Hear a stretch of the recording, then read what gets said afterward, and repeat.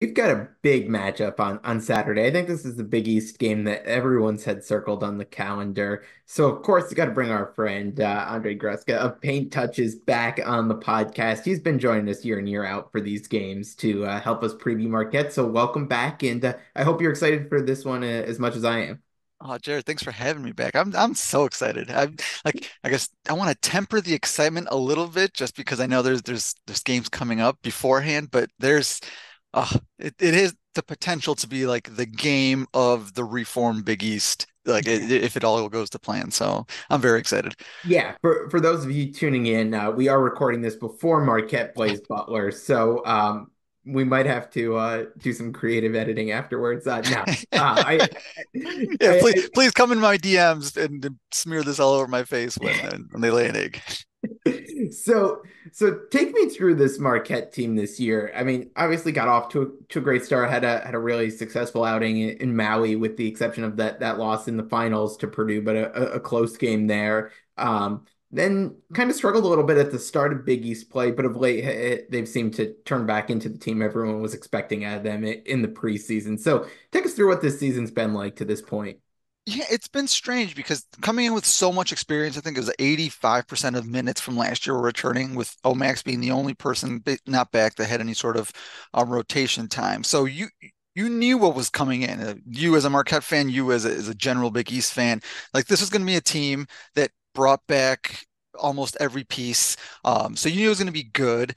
And they, the way they started, like they kind of were a little bit better than I thought because I'd done some research over the summer, um, and sure enough, teams that brought back 80% plus of 80% plus minutes um, that were top 10 teams or top whatever 15 teams a year before usually maintain that level mm-hmm. um, it was very uncommon for them to take a step up in terms of like from being like a top 10 to a top five uh, but they always the, all four teams that i had found had finished in the top 10 um, had some decent um, ncaa tournament success because again you knew what you were getting um, so as, again through maui I, they were playing better than my my like personally held expectations but i know they were about where most Marquette fans thought. Like this is an elite team. This is a top three team. This is a team that should be contending for like the number one overall seed.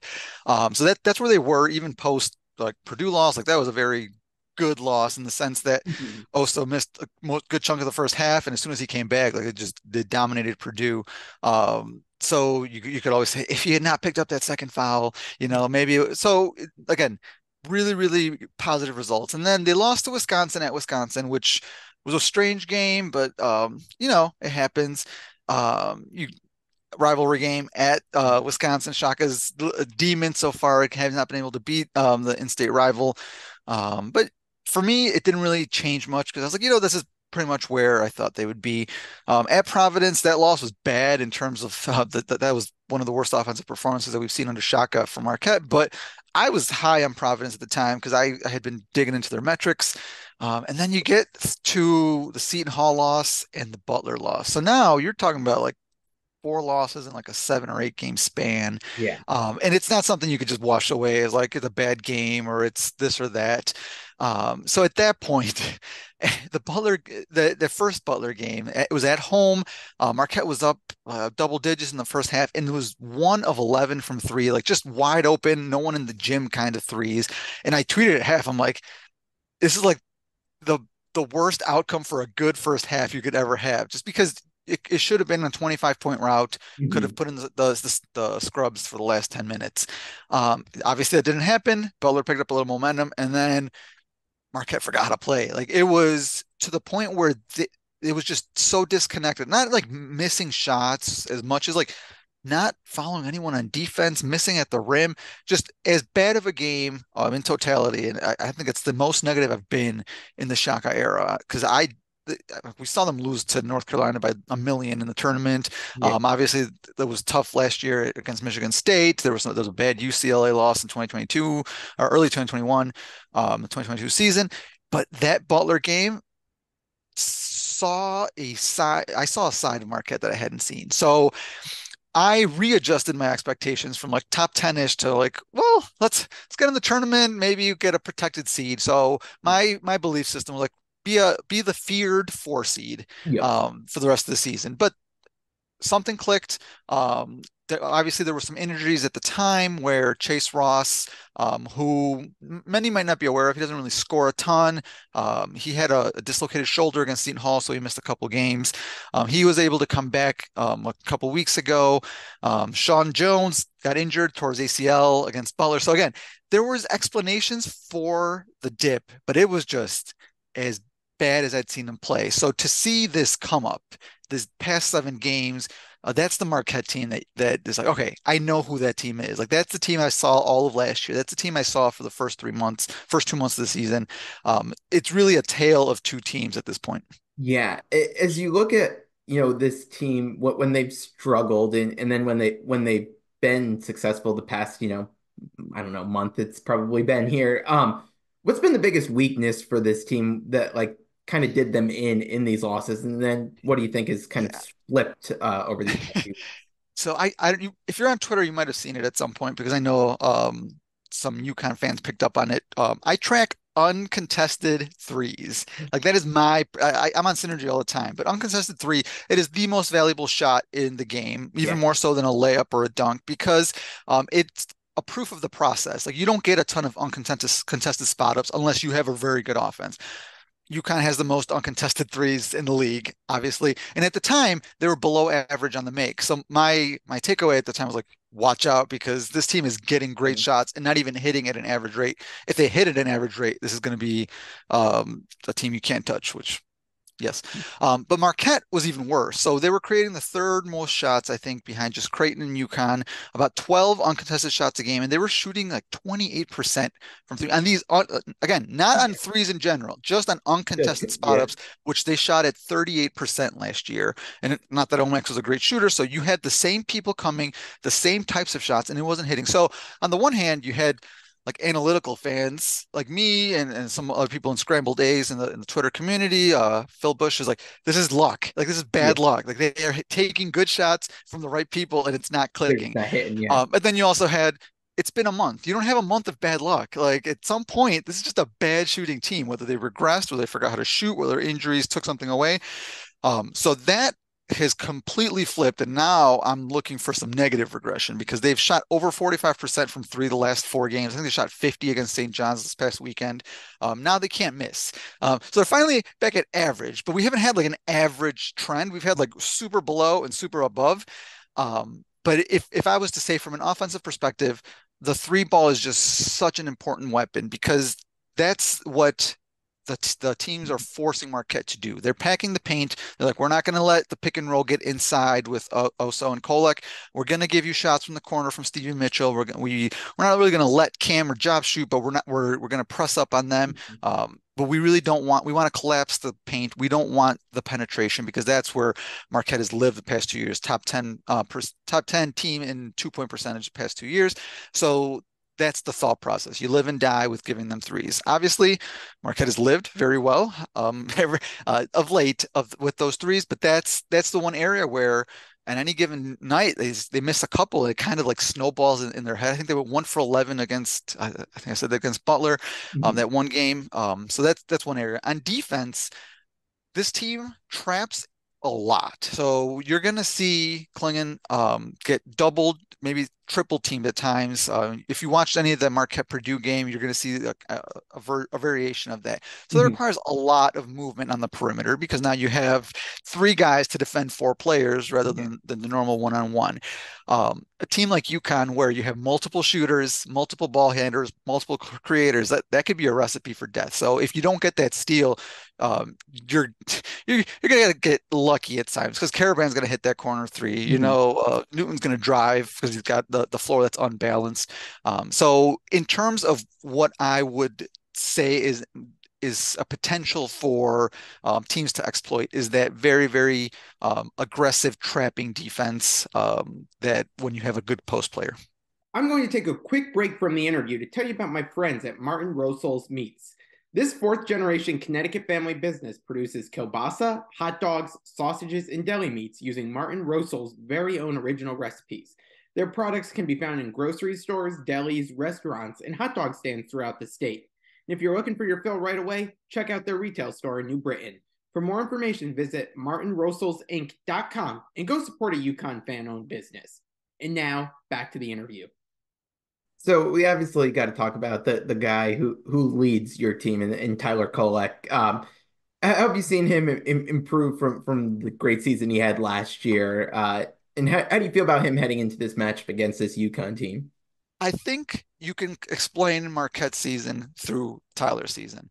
Start of the year, he was above and beyond where he left off as um, Big East Player of the Year against Illinois. He just took over that game on the road, uh, basically won it single handedly. Just just took picked apart that defense, um, took it to the rim at will.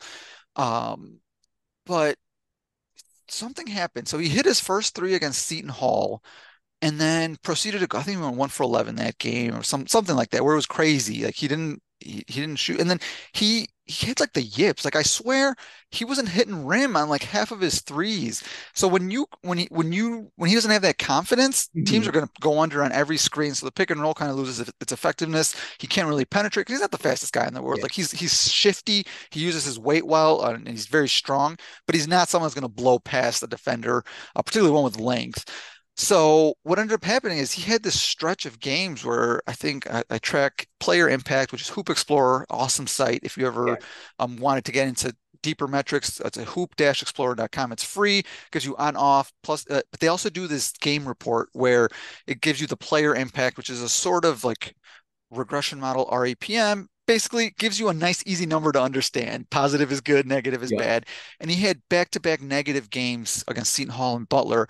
Um, so at that point you're like what, what? and so that's where the narrative kind of yeah. cemented itself for a few weeks. Like oh he's not the same player. Even though his stats season long were as good as before he had not lived up to that the past seven weeks, he's been like not just best player in the conference, he's been best player in the country. Good. Um, Synergy again has a stat where it's points created, not just the points you score, but it gives you the points when you assist mm-hmm. and um, when someone gets fouled off of your pass. So it gives you a little bit more of an idea of who's creating yeah. for the offense.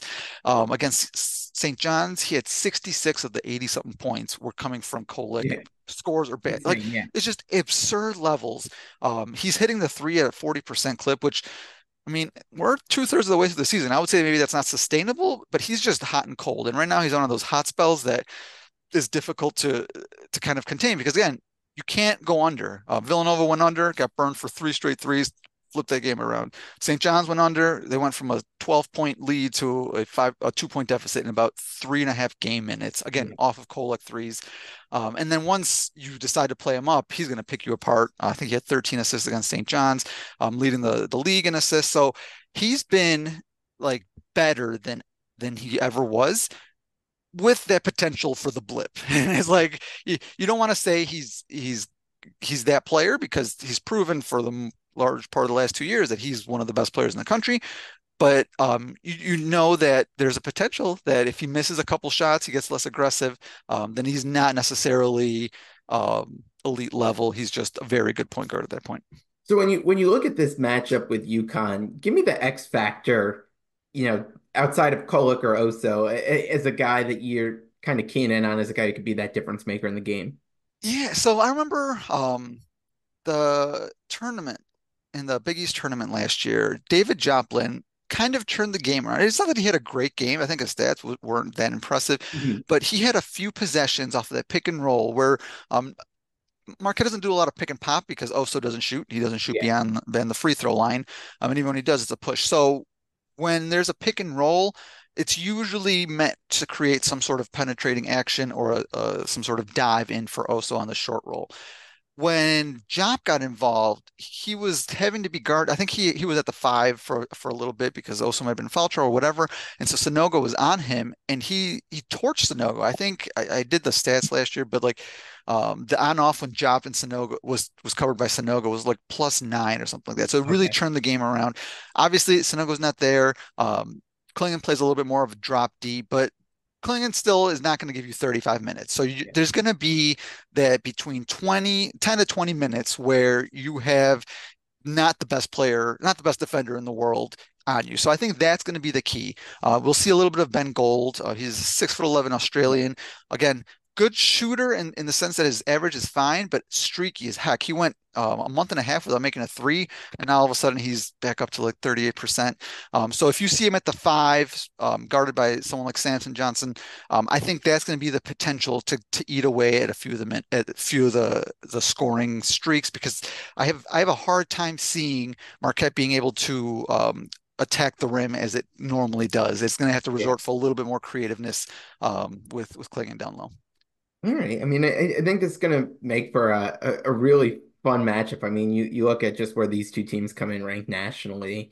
Um, I think it's a really exciting matchup for the Big East and for these two teams oh, in yeah. particular. And it's crazy we're going to get another one in what two weeks, three weeks after this. I so. know it was backloaded. I was just like, I was thinking about that the other day. I'm like, well, I'm, I'm glad that UConn wasn't on the schedule when when Marquette wasn't playing well, but at the same time, like it's this is basically make or break. Not that the I think uh, Bart Torvik has UConn at 93% to win the regular season outright because you basically have to lose both games to Marquette plus have Marquette run the table for and you still get a share if that were to happen. So um, for a regular season, um, not that I've resigned to second place, but I, I think realistically speaking, um, we know that UConn's probably going to take that. Um, and if they win on Saturday, that's going to be a coronation. But again, for Marquette, and I don't know, I'm speaking to someone who's won a couple titles, so I, I, I wouldn't know that feeling. It's it's about March. Like, yeah, the Big East is fine, it's fun, I love it, I watch it every day, I live and die by it. But it's about getting a seed, getting a, a good draw, and making it to that second, uh, possibly third weekend. Because if you won the Big East and lost in the second round, like I could tell you, it sucks. that's, that's, that's no, you remember it finally, but you always had that like little aftertaste in your mouth. You're like, yeah. oh yeah, well, there's always next year. Well, this is the year. Yeah. Marquette might lose a lot of pieces. Um, doesn't has a good recruiting class, but not necessarily something that's going to replace an Oso or a Kolek type. Um, so for Marquette, this year is going to be like if this March doesn't happen, I'm just going to resign myself that we're we're not we're not going to be be a March team ever. Oh. Well, I, I have got to wrap with this because I know you're you're my stats guy. Have you, have you have you been keeping track of Shaka minutes on the court this year?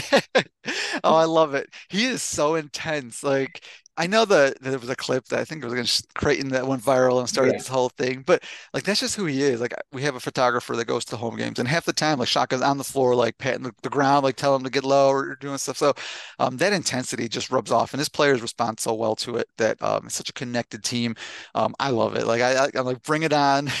yeah, I, think, I, think, both both fan bases, like UConn fans, love Hurley's firing firing. Yeah, exactly. On sidelines. You guys love Shaka doing whatever he's doing out there. So it's. Uh, uh, something exactly. that the other fan bases could hate, but you at least could love it. right. You, you you love to hate on them. Exactly.